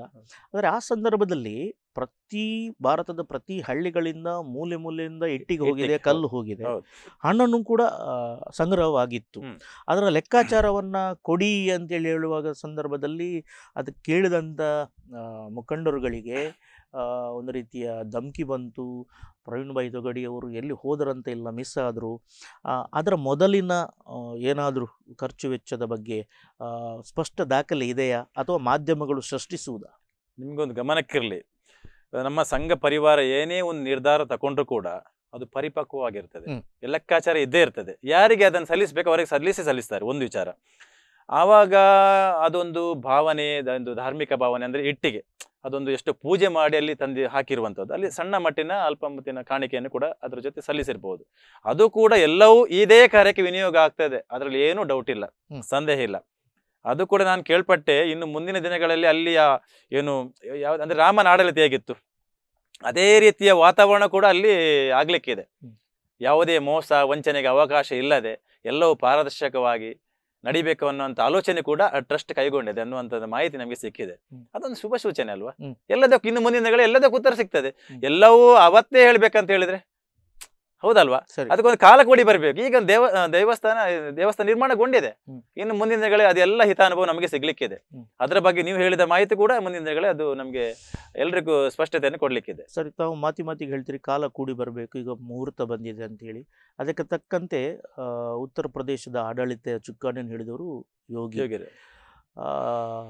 ಈ ಮುಖ್ಯಮಂತ್ರಿ ಯೋಗಿ ಒಬ್ಬ ತಪಸ್ವಿ. ಒಬ್ಬ ಧಾರ್ಮಿಕ ಮುಖಂಡ.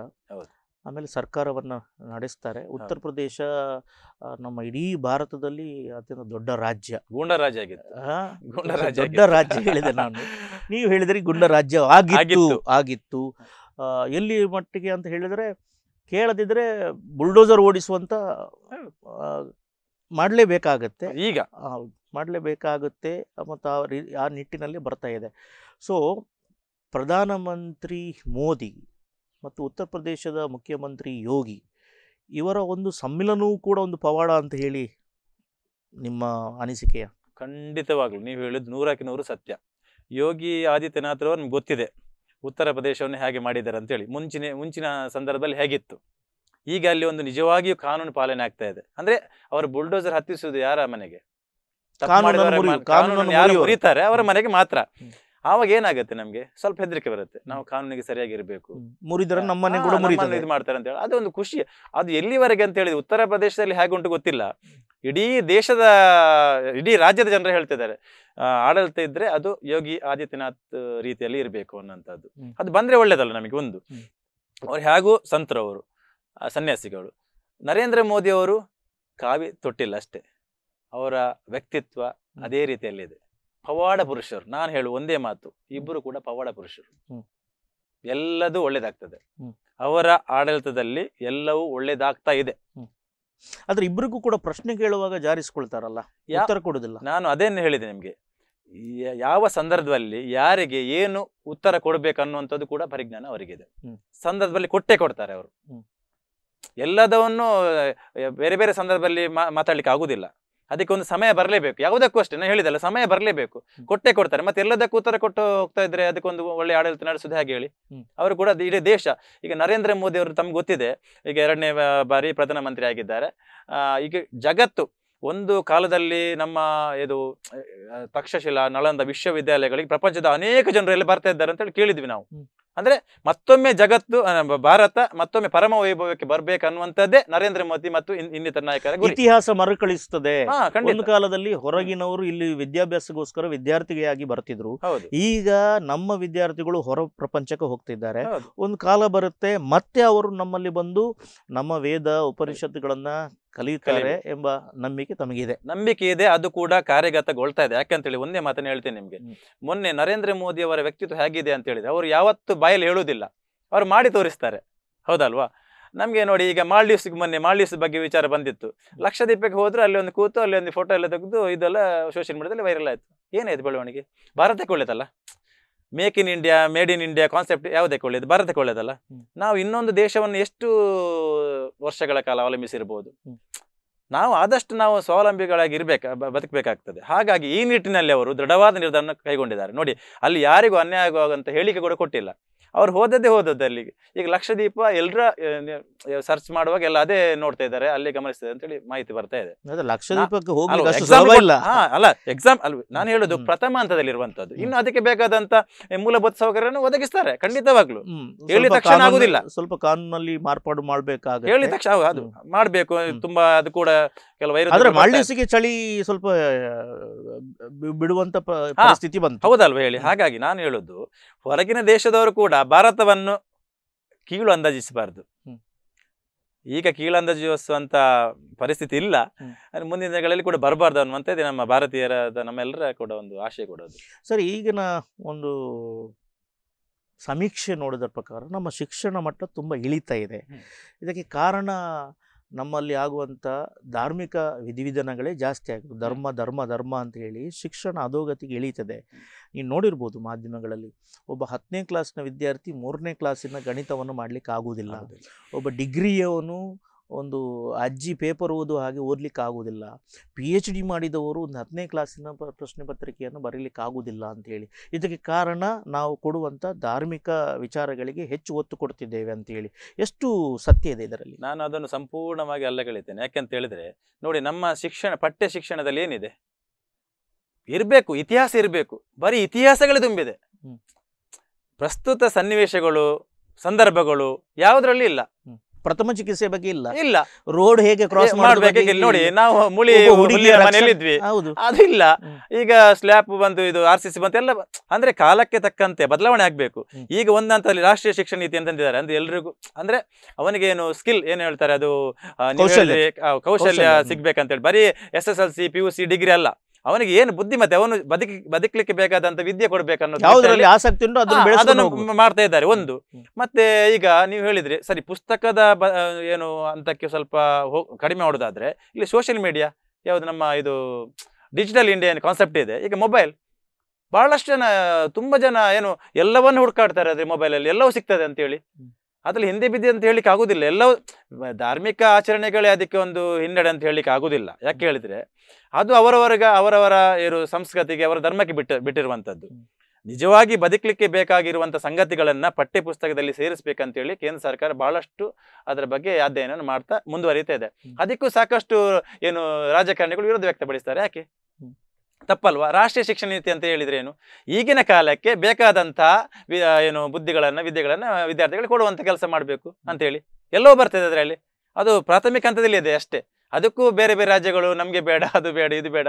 ಅದೊಂದು ತಪ್ಪು ಕಲ್ಪನೆ. ಅಂದ್ರೆ ನಾನು ಹೇಳೋದು ನಮ್ಮ ದೇಶದಲ್ಲಿ ಪ್ರತಿಯೊಬ್ಬ ನಾಗ ನಾಗರಿಕನು ಮುಖ್ಯವೇ.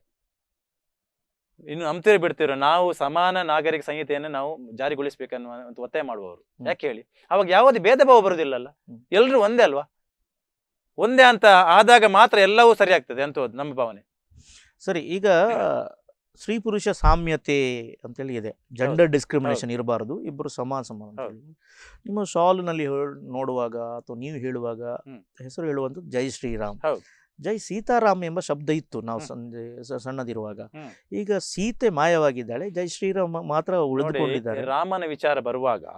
ಅಲ್ಲಿ ಬಾಲರಾಮನನ್ನು ಪ್ರತಿಷ್ಠಾಪನೆ ಮಾಡಿದ್ದು ದಯವಿಟ್ಟು ತಿಳ್ಕೊಳ್ಳಿ. ಅಲ್ಲಿ ಅಯೋಧ್ಯೆಯಲ್ಲಿ ಬಾಲರಾಮ.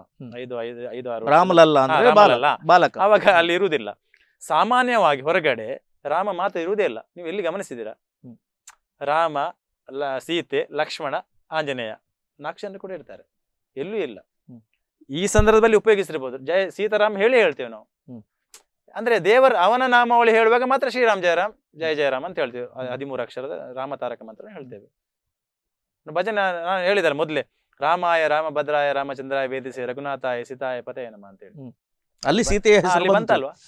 ನಮ್ಮ ಗಾಂಧೀಜಿಯವರು ಹೇಳಿಕೊಟ್ಟ ಇದರಲ್ಲಿ ಸೀತಾರಾಮ್ ಅಂತಲೇ ಬರುತ್ತೆ. ಸಿಯಾರಾಮ್ ಅಂತಲೇ ಬರುತ್ತೆ. ಅದು ಅವರವರ ಭಾಷೆಗೆ ಅಂದ್ರೆ ಅಲ್ಲ ಹೌದು ಹೌದು ಸೀತೆಯನ್ನ ಬೇರೆ ಬೇರೆ ಹೆಸರಿಂದ ಹೆಸರಿನಿಂದ ಕರೆಸ್ತಾರೆ. ಯಾಕಂದ್ರೆ ಈ ಮಾತುಗಳು ಜಯ ಶ್ರೀರಾಮ್ ಅಂತ ಹೇಳುವಂತ ಸಂದರ್ಭದಲ್ಲಿ ಸ್ತ್ರೀಯರನ್ನ ಕಡೆಗಣಿಸಲಾಗುತ್ತೆ. ಯಾಕಂದ್ರೆ ಮರ್ಯಾದ ಪುರುಷೋತ್ತಮ ಪುರುಷೋತ್ತಮ ಅಂತ ಹೇಳಿದ್ರೆ ರಾಮ ಸೀತೆಗೆ ಆ ಸ್ಥಾನವನ್ನು ಕೊಟ್ಟಿದ್ದಾನೆ. ನೀವು ಹೇಳಿದಿರಿ ಲಕ್ಷ್ಮಣ. ತನ್ನ ಹೆಂಡತಿಯನ್ನ. ಬಿಟ್ಟುಕೊಂಡು ಅಣ್ಣನೊಟ್ಟಿಗೆ ಹೋಗುವಂತ ಪರಿಸ್ಥಿತಿ ಹನುಮಂತ. ಸರಿ ಈಗ ರಾಮಲಲ್ಲನ ಪ್ರತಿಷ್ಠಾಪನೆ ಆಯಿತು. ಎರಡು ಮೂರು ವರ್ಷಗಳಲ್ಲಿ ರಾಮ ಮಂದಿರ ಸಂಪೂರ್ಣವಾಗುತ್ತೆ ಸಂಪೂರ್ಣ. ಪ್ರವಾಸೋದ್ಯಮ ಬೆಳೆಯುತ್ತೆ.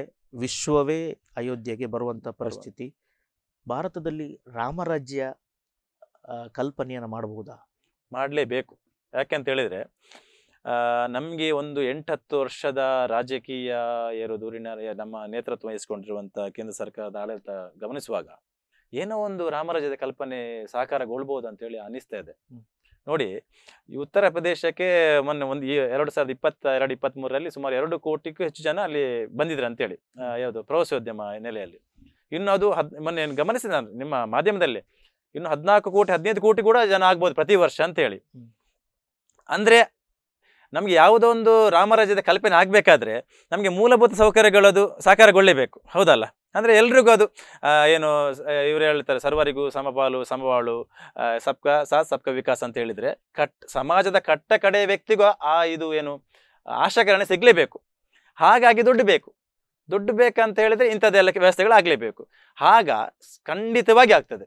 ರಾಮರಾಜ್ಯದ ಧರ್ಮ ಪಾಲನೆ ಇರ್ಬೋದು ಸತ್ಯ ನ್ಯಾಯ ನಿಷ್ಠೆ ಅದು ಜಾರಿಗೊಳ್ಳೇಬೇಕು ಆವಾಗ ಎಲ್ಲ ವ್ಯಕ್ತಿಗಳು ಸಹಬಾಳ್ವೆಯಿಂದ ಒಳ್ಳೆ ರೀತಿಯಲ್ಲಿ ಬದುಕ್ತಾರೆ ಅನ್ನುವಂಥ ನಮಗೊಂದು ಆಶಾಭಾವನೆ ಇದೆ. ಸೊ ರಾಮನ ರಾಮರಾಜ್ಯದ ಕಲ್ಪನೆಯಲ್ಲಿ ರಾಮ ಯಾರಿಗೂ ಕೂಡ ಹೇರಿಕೆಯನ್ನು ಎಲ್ಲಿಯೂ ಮಾಡಿಲ್ಲ.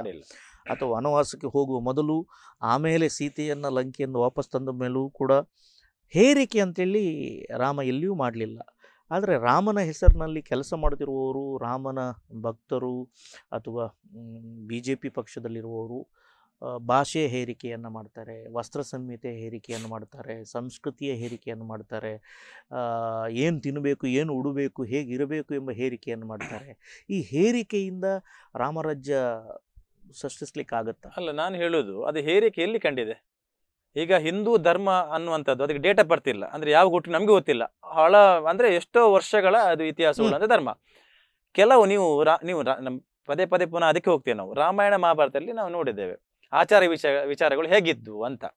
ಒಂದು ಗೌರವಿತ್ತು ಹಿರಿಯರಲ್ಲಿ ಗುರು ಹಿರಿಯರಲ್ಲಿ ಮತ್ತೆ ಅವರ ಏನು ನೀವು ತಿನ್ ತಿನ್ ತಿನ್ನುವಂಥ ಆಹಾರದಲ್ಲಿ ಕೂಡ ಕೆಲವೊಂದು ಪದ್ಧತಿಗಳಿದ್ವು. ಅದು ಇತ್ತೀಚಿನ ದಿನಗಳಲ್ಲಿ ಕೆಲವು ಬಿಟ್ಟು ಹೋಗಿದೆ ಬಿಟ್ರೆ ಅದನ್ನು ಪುನಃ ಮರು ಸ್ಥಾಪಿಸ್ತಿದ್ದಾರೆ. ಅದು ಹೇರಿಕೆ ಎಲ್ಲೂ ಆಗಲಿಲ್ಲ. ಎಲ್ಲಿ ಆಗಿದೆ ಹೇರಿಕೆ? ಯಾವ ವಿಚಾರದಲ್ಲಿ ಆಗಿದೆ? ಹಿಂದಿ ಭಾಷೆ ಒಂದು ನಿಮಿಷ ಹೇಳ್ತೇನೆ ಈಗ. ಹಿಂದಿ ಭಾಷೆ ಹೇರಿಕೆ ಅಲ್ಲ ಅದು. ಈಗ ರಾ- ನಮ್ಗೆ ರಾಷ್ಟ್ರದ ಭಾಷೆ ಯಾವುದು? ಹಿಂದಿ ಅಲ್ವಾ? ಆಲ್ಮೋಸ್ಟ್ ಇರುವಂತ ಹಿಂದಿ ಅಲ್ವಾ. ರಾಷ್ಟ್ರ ಭಾಷೆ ದೇಶ ಭಾಷೆ ಹೇಳುವಂತದ್ದು ರಾಷ್ಟ್ರ ಭಾಷೆ ಹಿಂದಿ ಅಂತೇಳಿ ಎಲ್ಲೂ ಕೂಡ ಇಲ್ಲ. ಎಲ್ಲೂ ಉಲ್ಲೇಖ ಇಲ್ಲ. ಆದ್ರೆ ಸಾಮಾನ್ಯವಾಗಿ ಮಾತಾಡುತ್ತಿರುವಂತದ್ದು ಹಿಂದಿ. ಮೊದಲು ಇಂಗ್ಲಿಷ್ ಇತ್ತು. ಇಂಗ್ಲಿಷ್ ಜಾಸ್ತಿ ಮಾತಾಡ್ತಿದ್ರು. ನಾವು ಇಂಗ್ಲಿಷ್ ಪರಕೀಯ ಭಾಷೆ ಅಂತ ಹೇಳ್ತೇವೆ. ಹೇರಿಕೆ ಮಾಡ್ಲಿಲ್ಲ. ಮತ್ತೆ ಈಗ ರಾಜ್ಯದಲ್ಲಿ ಆಡಳಿತ ಭಾಷೆ ಕನ್ನಡ ಇದೆ. ನಾವು ತುಳು ಮಾತಾಡ್ತೇವೆ. ನಮ್ಮ ಪ್ರದೇಶಕ್ಕೆ. ಭಾವನೆಗಳನ್ನು ವ್ಯಕ್ತಪಡಿಸ್ಲಿಕ್ಕೆ ಇರುವಂತದ್ದು ಯಾವುದೇ ಹೇರಿಕೆ ಆಗ್ಲಿಲ್ಲ. ಮತ್ತೆ ನೀವು ಹೇರಿಕೆ ಅನ್ನುವಂತ ಪದ ಒಂದ್ ವೇಳೆ ಬಂದಿದ್ರೆ ಅದು ಕೆಲವೇ ಕೆಲವು ವ್ಯಕ್ತಿಗಳಿಂದ ಇರಬಹುದು ಅಷ್ಟೇ. ಈಗ ನಾವು ಕನ್ನಡದ ವಿಚಾರದಲ್ಲಿ ಕೆಲವು ಹೊರ ಹೋರಾಟ ಕೇಳ್ತೇವೆ. ನನ್ನ ಪ್ರಕಾರ ಅದನ್ನು ಯಾವುದನ್ನು ಹೇರಿಕೆ ಮಾಡಲೂಬಾರ್ದು. ಯಾಕೆ ಹೇಳಿ? ಅದು ಅವರವರ ಭಾವನೆಯನ್ನ ವ್ಯಕ್ತಪಡಿಸಲಿಕ್ಕೆ ಇರುವಂತ ಒಂದು ಮಾಧ್ಯಮ ಭಾಷೆ ಅನ್ನುವಂಥದ್ದು ಹೌದಲ್ವಾ? ಹೌದು. ವಿವಿಧತೆಯಲ್ಲಿ ಏಕತೆ. ಈಗ ಹಾ. ನಿಮ್ ಪ್ರಕಾರ ಆದ್ರೆ ಬೇಡ. ಅಲ್ಲ. ಏಕತೆ ನಾನು ಹೇಳುವಂಥದ್ದು ಈಗ ಆ ರಾಜ್ಯ ಆಡಳಿತ ಭಾಷೆ ಕನ್ನಡ. ಕನ್ನಡ ಬಿಟ್ಟು ಅಲ್ಲಿ ಕೊಂಕಣಿ ಅಥವಾ ತುಳು ಅಥವಾ ಬೇರೆಯವನ್ನು ಹೇರ್ಲಿಕ್ಕೆ ಮಾಡ್ಲಿಕ್ಕಾಗ್ತದಾ? ಮಾಡ್ಲಿಕ್ಕೆ ಆಗ್ತದ ಆಗುದಿಲ್ಲ. ಆಗುದಿಲ್ಲ ಅಂದ್ರೆ ಒಂದು ಜನಸಾಮಾನ್ಯರಿಗೆ ಮುಟ್ಬೇಕಲ್ಲ. ಮುಟ್ಬೇಕಾದ್ರೆ ಯಾವುದೊಂದು ಲ್ಯಾಂಗ್ವೇಜ್ ಬೇಕೇ ಬೇಕಲ್ಲ. ಅದಕ್ಕೆ ಆ ರೀತಿಯಲ್ಲಿ ನಾವು ಪರಿಗಣಿಸಿರ್ಬಹುದು ಅಂದಾಜಿಸಿರ್ಬಹುದು ಬಿಟ್ರೆ. ಹೇರಿಕೆ ಇಲ್ಲ. ಹೇರಿಕೆ ಅಂತ ಇಲ್ಲ. ಅವರವರ ಸ್ವಾತಂತ್ರ್ಯ ಅವರವರಿಗೆ ಇದೆ. ಖಂಡಿತ ಖಂಡಿತ. ರಮೇಶ್ ರವರೇ ಕೊನೆ ಒಂದು ನಿಮಿಷ ಇದೆ. ಧರ್ಮ ಮತ್ತು ರಾಜಕೀಯ ಒಟ್ಟೊಟ್ಟಿಗೆ ಹೋಗಬೇಕಾ ಬೇರೆ ಬೇರೆ ಇರಬೇಕಾ? ನೋಡಿ ರಾಜಕೀಯದಲ್ಲಿ ಧರ್ಮ ಇರಲೇಬೇಕು. ರಾಜಕೀಯದಲ್ಲಿ ಧರ್ಮ ಇರಬೇಕು. ಧರ್ಮದಲ್ಲಿ ರಾಜಕೀಯ ಇರಲೇಬಾರ್ದು. ಧರ್ಮದಲ್ಲಿ ರಾಜಕೀಯ ಮಾಡಬಾರ್ದು. ಧರ್ಮ ರಾಜಕೀಯದಲ್ಲಿ ಧರ್ಮ ಇರಬೇಕು ಯಾಕೆ ಅಂತ ಹೇಳಿದ್ರೆ ಅದು ಧರ್ಮ ಇದ್ರೆ ಮಾತ್ರ ಅವನು ಜನಸಾಮಾನ್ಯರಿಗೂ ಅದು ಏನು ಆಡಳಿತ ನಡೆಸುವನು ಧರ್ಮ ಇದ್ರೆ ಮಾತ್ರ ಭ್ರಷ್ಟಾಚಾರ ಇರುವುದಿಲ್ಲ. ಇರುವುದಿಲ್ಲ. ಧರ್ಮ ಇದ್ರೆ ಮಾತ್ರ ಅದರಲ್ಲಿ ಸತ್ಯ ಇರುವುದು. ಧರ್ಮದಲ್ಲಿ ಇದ್ರೆ ಮಾತ್ರ ಸಹಕಾರ ನೋಡಿ ಒಂದು ಹಿತಾನುಭವ ಹೇಳ್ತೇನೆ. ಮೊದಲು ನಮಗೆ ನಾವು ಡಿಜಿಟಲ್ ಇಂಡಿಯಾ ಕಾನ್ಸೆಪ್ಟ್ ಬಂತು ಹಾಕಿದ್ರು. ಆವಾಗ ನಾವೆಲ್ಲ ಕೆಲವು ಜನ ಎಲ್ಲ ಇದೆಂತ ಮಾರ? ಎಲ್ಲ ಆಗ್ತದ? ಮೊಬೈಲ್ ಉಂಟು? ಹಾಗೆ ಹೀಗೆಲ್ಲ? ಹೇಳಿದ್ವಿ. ನಮ್ಮ ಕಣ್ಣೆದುರಿಗೆ ಒಂದು ನಾಲ್ಕೈದು ವರ್ಷದ ವಿಚಾರ. ಈಗ ನಿಮ್ಮಲ್ಲಿ ಅಷ್ಟೇ, ನನ್ನಲ್ಲಿ ಅಷ್ಟು ಮೊಬೈಲ್ ಅಂಗಡಿ ಹೋದ್ರೆ ಸ್ಕ್ಯಾನ್ ಮಾಡ್ತೇವೆ. ಅಂದ್ರೆ ವಿಚಾರ ಅಂತ ಹೇಳಿದ್ರೆ ಅಷ್ಟು ಮಾತ್ರ ಅಲ್ಲ ಅಕೌಂಟು ಅಕೌಂಟ್ ಓಪನ್ ಅಂತ ಹೇಳಿದ್ರು. ಎಲ್ರಿಗೂ ಅಕೌಂಟ್ ಆಗಬೇಕು, ಹಾಗೆ ಹೀಗೆ ಅಂತ ಹೇಳಿ. ಕಷ್ಟ ಆಯ್ತು ನಮಗೆ. ಕಷ್ಟ ತುಂಬಾ ಜನ ಕಷ್ಟ ಆಯ್ತು. ಈಗ ಅಲ್ಲಿ ಉದ್ದೇಶ ಏನಿದೆ? ನಾನು ಹೇಳೋದು, ಕೆಲವು ಸಂದರ್ಭದಲ್ಲಿ ಯೋಜನೆಗಳನ್ನ, ಯೋಚನೆಗಳನ್ನ ರೂಪಿಸುವಾಗ ಫಸ್ಟ್ ಪ್ರಥಮ ಸ್ಟೇಜಲ್ಲಿ ಸ್ವಲ್ಪ ಕಷ್ಟ ಇರ್ತದೆ. ನಿಧಾನವಾಗಿ ಅದರ ಹಿತಾನುಭವ ಆಗ್ತದೆ. ಇದೆರಡು ಆದದಿಷ್ಟೇ ಈಗ ನೋಡಿ ಡಿಜಿಟಲ್ ಇಂಡಿಯಾ ಕಾನ್ಸೆಪ್ಟ್ ನೋಡಿ. ಎಲ್ಲರ ಹತ್ರನು ಆರಾಮ್. ದುಡ್ಡಿಲ್ಲ. ಯಾರು ತಲೆ ಹೊಡಿತಾರೆ ಅನ್ನುವಂಥದ್ದು ಹೆದರಿಕೆ ಕೂಡ ಇಲ್ಲ. ಏನಿಲ್ಲ. ಇನ್ನು ಮುಂದಿನ ಪ್ಯಾಂಟ್ಗಳಲ್ಲಿ ಕಿಸೆ ಇರ್ಲಿಕ್ಕಿಲ್ಲ. ಒಂದು ಅಷ್ಟು ಮಾತ್ರ ಅಲ್ಲ ಇವರು ನಮ್ಮ ನೇರವಾಗಿ ಅಂದ್ರೆ ಅವರು ಒಬ್ಬ ಬಡವನಿಗೆ ಒಬ್ಬ ಕಟ್ಟಕಡೆ. ನೇರವಾಗಿ ಅಕೌಂಟ್ಗೆ ದುಡ್ಡು ಬರ್ತದೆ. ಮಧ್ಯವರ್ತಿ ಇಲ್ಲ. ಎರಡು ವಿಚಾರ ಸಾಕು. ರಾಮರಾಜ್ಯದ ಕಲ್ಪನೆಗೆ ರಾಮರಾಜ್ಯದ ಕನಸು ನನಸಾಗ್ಲಿಕ್ಕೆ ಎರಡು ವಿಚಾರ ಸಾಕು. ಮುಂದೆ ದಿನಗಳ ಅತ್ತ ಹಲವು ವಿಚಾರಗಳನ್ನು ನಾವು ಅನುಭವಿಸ್ಬೋದು. ಸರಿ ಡಿಬೇಟ್ ಅವರ್ನಲ್ಲಿ ಕೊನೆಯ ಕ್ಷಣದಲ್ಲಿ ನಾವಿದ್ದೇವೆ. ಈ ಸಂತೋಷವನ್ನ ನಮ್ಮ ವೀಕ್ಷಕರೊಂದಿಗೆ ರಮೇಶ್ ಕಲ್ಲೊಟ್ಟೆ ಹೇಗೆ ಹಂಚಿಕೊಳ್ತಾರೆ? ನಾನು ಒಂದು ವಿಚಾರದಲ್ಲಿ ನಾನೊಬ್ಬ ಹಿಂದೂ. ನನಗೆ ರಾಮನ ಅಲ್ಲಿ ಮಂದಿರ ಆಗಿರುವಂಥದ್ದು ಬಹಳಷ್ಟು ಖುಷಿ ಕೊಟ್ಟಿದೆ. ನಾನು ಅದರ ಜೊತೆಗೆ ನನ್ನಲ್ಲಿ ಕೆಲವೊಂದು ನ್ಯೂನತೆಗಳಿರ್ತದೆ. ಅದನ್ನು ಕೆಲವೊಂದು ಗೊತ್ತಿದೆ. ಮ, ಪ್ರತಿಯೊಂದು ಮನುಷ್ಯನಲ್ಲಿ ಇರುವಂಥದ್ದು ಅದನ್ನು ನಾವು ಬಿಟ್ಟು ಬಿಟ್ಟು ಒಳ್ಳೆಯ ವಿಚಾರಗಳನ್ನು ತಗೊಂಡು ಹೋಗಿ ಸಮಾಜದ ಏಕತೆಗೋಸ್ಕರ ನಾವು ದುಡಿಯುವಂಥ ಮನಸ್ಸನ್ನು ನಾವು ಮಾಡ್ತೇವೆ. ಎಲ್ಲರೂ ಒಂದಾಗಿ ಬಾಳ್ಬೇಕು ಅನ್ನುವಂಥ ವಿಚಾರದಲ್ಲಿ ನಾವು ಮುಂದುವರಿತೇವೆ ಅನ್ನುವಂಥ ಮಾತನ್ನು ಅಷ್ಟು ಮಾತ್ರ. ಇದೊಂದು ಈ ಒಂದು ಹಬ್ಬವನ್ನು ಎಲ್ಲರೂ ಕೂಡ ಸಂಭ್ರಮದಿಂದ ಒಳ್ಳೆಯ ರೀತಿಯಲ್ಲಿ ಆಚರಿಸೋಣ ಅನ್ನೋಂಥ ಒಂದು ಮನವಿಯನ್ನು ಕೂಡ ಮಾಡ್ತೇನೆ ನಾನು. ಸರಿ ರಮೇಶ್ ಕೊಲ್ಲಟ್ಟಿ ಅವರೇ ತಾವು ಸ್ಟುಡಿಯೋಗೆ ಆಗಮಿಸಿ ಈ ಸಂತೋಷವನ್ನು ಹಚ್ಚಿಕೊಂಡ್ರಿ ನಿಮ್ಮ ಮಾತಿನ ಮರ್ಮ ಏನೈತಂದರೆ ನಾವು ಮೊದಲು ಭಾರತೀಯರು. ಆಮೇಲೆ ಸಹೋದರತೆಯನ್ನು ಕಾಪಾಡಿಕೊಂಡು ಮುಂದೆ ನಡೆದರೆ ಖಂಡಿತವಾಗಿಯೂ ನಮ್ಮ ದೇಶ ರಾಮರಾಜ್ಯ ಆಗುವುದರಲ್ಲಿ ಯಾವುದೇ ಸಂಶಯವಿಲ್ಲ ಅಂತ ಹೇಳಿದಿರಿ. ತಮ್ಮ ಅಭಿಪ್ರಾಯವನ್ನು ಹಂಚಿಕೊಂಡಿದ್ದಕ್ಕೆ ತಮಗೆ ವಂದನೆಗಳನ್ನ ಹೇಳ್ತಾ ಇದ್ದೀನಿ. ನಿಮಗೂ ಧನ್ಯವಾದ. ಯಾಕಂತ ಹೇಳಿದ್ರೆ ಈ ಬೇರೆ ಬೇರೆ ಸಂದರ್ಭ ಬೇರೆ. ಅಯೋಧ್ಯೆ ವಿಚಾರವಾಗಿ ನಮಗೆ ಒಂದು ಮಾತಾಡಲಿಕ್ಕೆ ಅವಕಾಶ ಮಾಡಿಕೊಟ್ಟಿದ್ದಕ್ಕೆ ತಮಗೂ ಕೂಡ ತುಂಬ ಹೃದಯದ ಧನ್ಯವಾದಗಳು. ಆತ್ಮೀಯ ವೀಕ್ಷಕರೇ ಇದು ಇಂದಿನ ಡಿಬೇಟ್ ಅವರ್. ಮುಂದಿನ ಡಿಬೇಟ್ ಅವರ್ನಲ್ಲಿ ಮತ್ತೆ ಸಿಗೋಣ. ಅಲ್ಲಿವರೆಗೆ ನಿರಂತರ ಮನೋರಂಜನೆ ಮತ್ತು ಸುದ್ದಿಗಾಗಿ ನೋಡ್ತಾ ಇರಿ. ದೈಜಿ ಒಲ್ ಟು ಫೋರ್ ಸೆವೆನ್. ನಮಸ್ಕಾರ.